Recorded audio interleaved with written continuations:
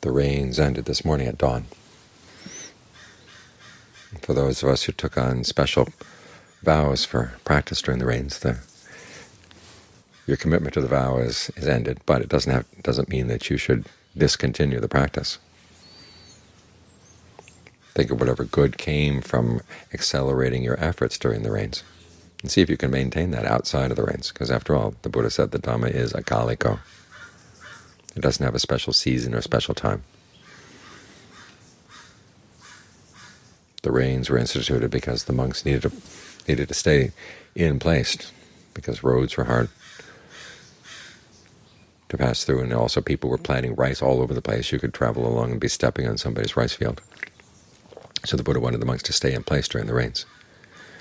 And then they took advantage of that fact, so that being together they could encourage one another in the practice. Now for us, the time during the rains and outside the rains is not all that different. We stay here most of the time, spend some time away.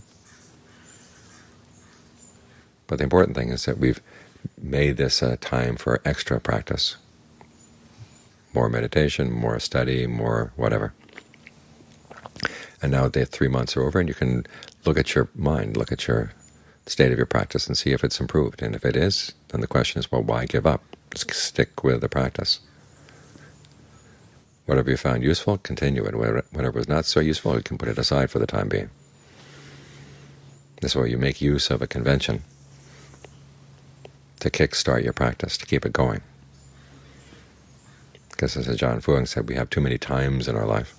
There's time for this, time for that, and there's not much time left over from meditation. You have to make the meditation the basis of your life, and then everything else fits into the context of the meditation. So it's always time to develop good qualities of the mind.